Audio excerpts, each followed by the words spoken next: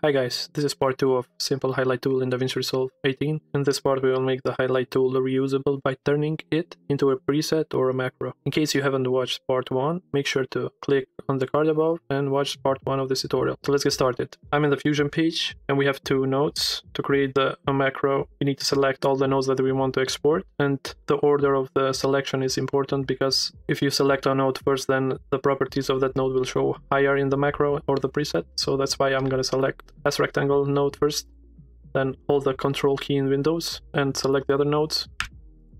Go to the first node, right click, go to macro, create macro. Or rename your macro, I will rename it to simple highlight tool. And now we need to select all of the properties which we want to export and to be visible in our preset. As you can see here, you will find listed all of the properties of one node. And since we selected the S-Rectangle node first, we will see that first on the list. Even though this dialog window is opened, you can still move around and open the properties. So if I select here I can see which properties I want to export. So basically we want to export the border width, the position and the length, but since we are using anim curves and animations, we will export the border width and the length from the anim curves section of this macro. Here we will select the position, the x offset, y offset, width, height and the corner radius. Now let's move in the common tab. We don't need to export anything here. Let's go to the border width anim curve and in the border width, if I go to the modifiers, these are all of the properties we can export. We don't want to export the source because we always want to leave the duration by the by default. We also don't want to export the curve because we want to leave this as simple as possible. We want to export this graph and the in and out points. And the graph is the lookup. The in point and out points are these two properties. But we want to rename them. I will just put border width in front of them. Now I can copy this two words and we will add them here too.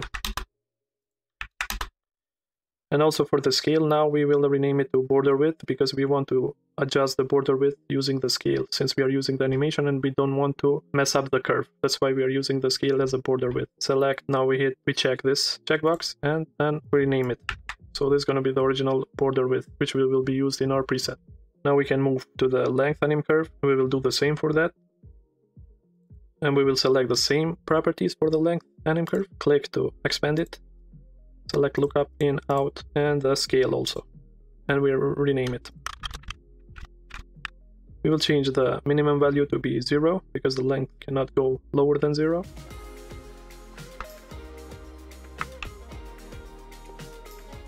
And we are done with the length anim curve. Now the last one is the srender node. And here we just make sure to check the output. Now to save it, go to File, save as.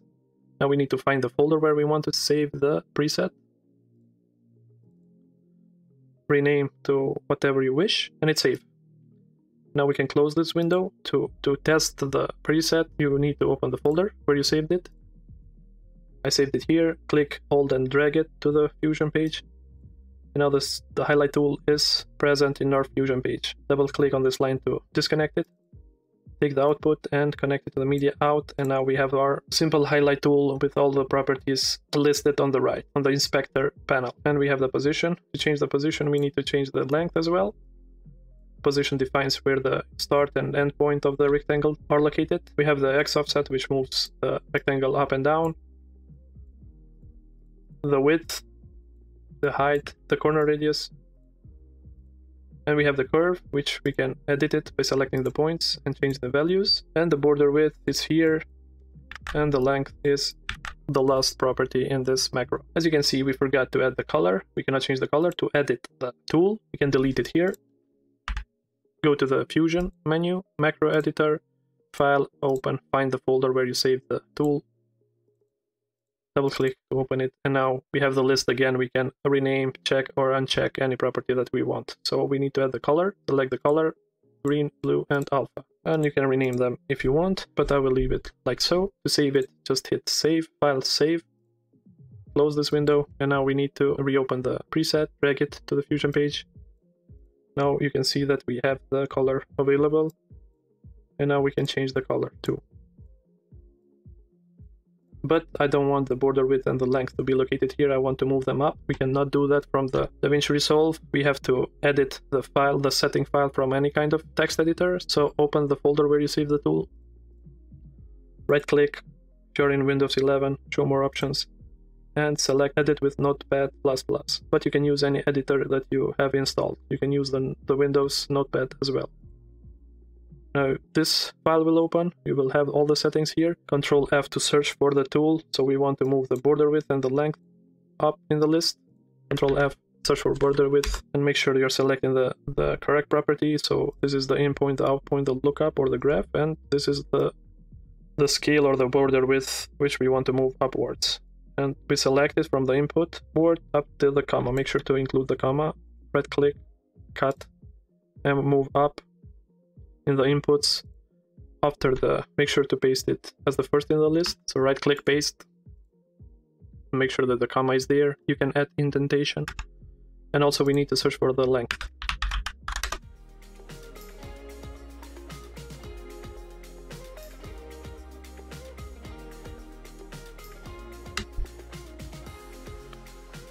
It doesn't matter if it says input 14 or input 8, as long as the names are unique, it will work. So now since we did the changes, go to File, Save, and now the preset has been updated. Close this editor, delete this node, go to the folder where you save the tool again, drag it here, and now if we connect it, now we will see the border width and the length to show the first ones in the list of the properties. And you can change the border width and the length but the lookup will not be messed up. So this is how you create the preset. Now, to be able to install it in the DaVinci Resolve 18, we need to follow some steps. I will show you next how to do them. We can now we need to go to the folder where we save the, the preset.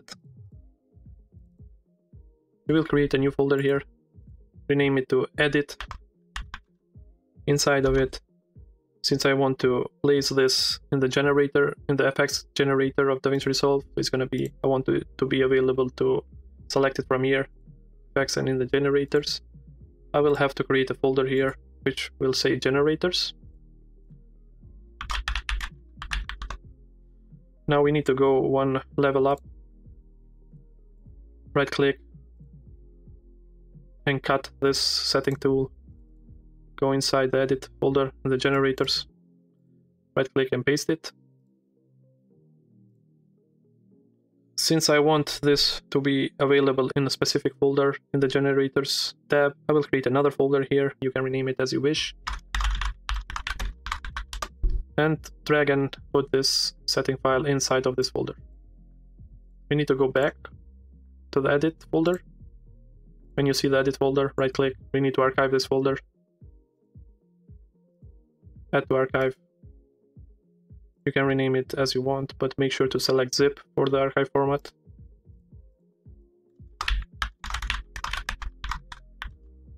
Now, since we have the zip file, we need to rename it to change the extension F2 to rename the file. And instead of zip, put drfx. And now we have a DaVinci Resolve FX archive which can be installed. You can install it by double clicking Now in the DaVinci Resolve you will see an install dialog box, hit install, and the preset should be available in the effects generators. Sometimes you need to close DaVinci Resolve and reopen it, but in my case I didn't have to do that. So now if I go in, in the tech video stack dots folder in the generators tab, I have the simple highlight tool.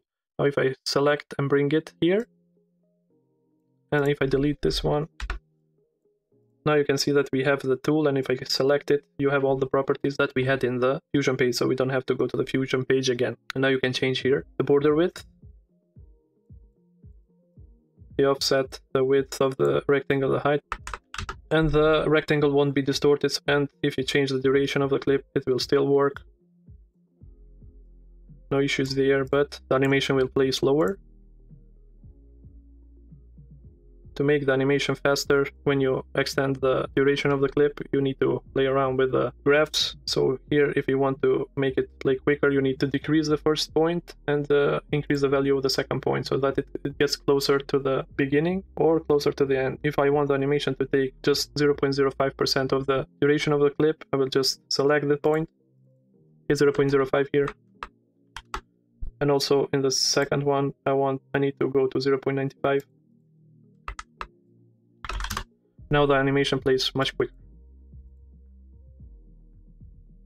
But we need to do the same change for the length as well.